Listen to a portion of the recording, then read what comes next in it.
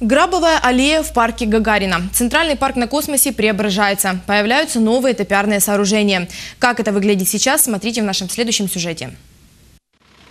Это граб, дерево семейства березовых. Их выращивали, говорят, с учетом геометрических форм, а растет граб довольно медленно. На эти понадобилось около 7 лет. Сейчас 20 пар высаживают уже сразу в виде арок. Когда они зацветут весной, будут цвести, и летом будет листва, очень красивые будут такие зеленые арки. Тут на протяжении всего центральной зоны парка очень будет замечательно. Такими оригинальными вещами обещают в следующем году украсить весь город, а полюбоваться этой грабовой аллеей посетители парка смогут только весной.